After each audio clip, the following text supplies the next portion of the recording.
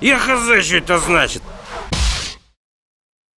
Всем привет, дорогие друзья, с вами НС, и это «Хочу знать».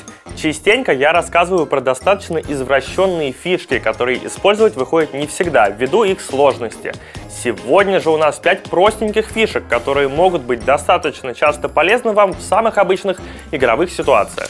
Первая фишка за Templar Assassin. Нынче этот герой не в моде, поэтому и мастеров на нем особо не встретишь. А многие уже и забыли, как на нем играть. Напоминаю одну прикольную особенность работы псиблейдов и рефракшена. Заряды рефракшена не снимаются, когда вы атакуете своих крипов. В это же время псиблейды прекрасно работают при атаке своих крипов в связи с чем открывается богатое поле для тренировки крипинга и хараса противников через пси-блейды со включенным рефракшеном. Вы фармите, вы наносите урон по противнику, а заряды не снимаются. Благодаря этому за один рефракшн можно сделать чуть ли не в два раза больше ударов с плюс уроном. Этой фишкой активно пользуются только супер скилловые ребята, но у вас всегда есть шанс к ним подтянуться.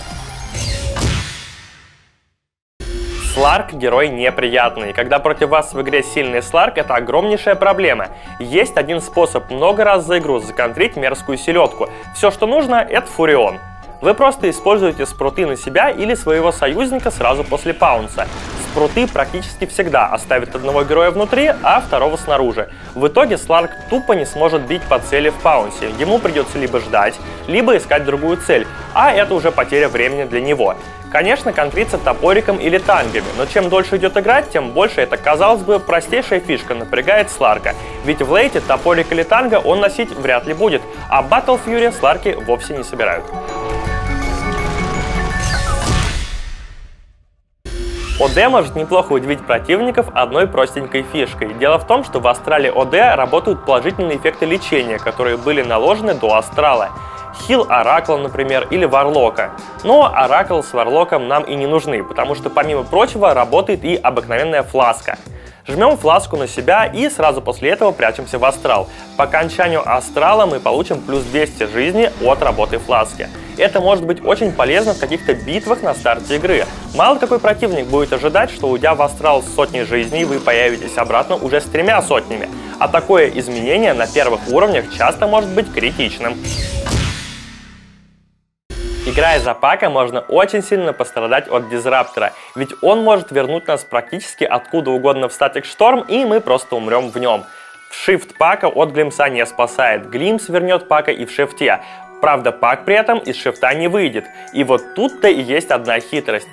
Под самый конец глимса, когда мы уже должны вернуться назад, кидаем орб себе на ход и нажимаем Shift а оказавшись в шифте внутри статик шторма, не паникуем и просто используем прыжок на орб. И это можно сделать прямо из статик шторма, главное из шифта не выходить. Таким нехитрым образом можно спасти не то что жизнь, но и ни капли здоровья не потерять. Можно же подобным образом уходить и при помощи блинка, конечно. Но, во-первых, если на вас висел Thunder то блинк может оказаться в кулдауне, а во-вторых, у вас может еще и не быть блинка, когда вы попадете в подобную передрягу.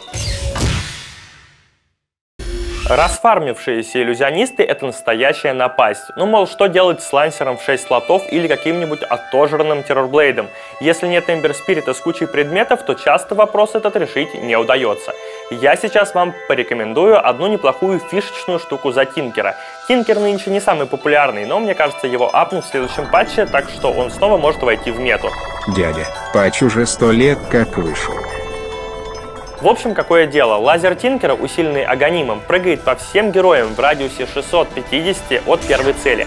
Но в описании способности забыли упомянуть, что не только по героям, но и по иллюзиям тоже.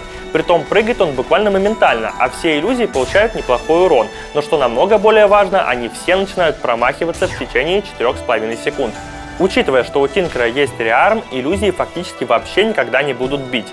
Вместо армии грозных бойцов получается армия косых инвалидов. Кстати говоря, крайне эффективно против очень модного нынче Хаус Найта.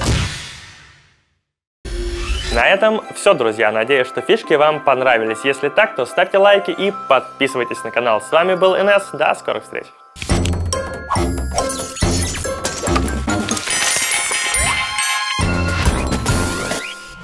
Я хз, что это значит. В это же время пси-блейды прекрасно работают при атаке своих крипов. При от... Пси-блейды, а не блейды. Пси-блейды.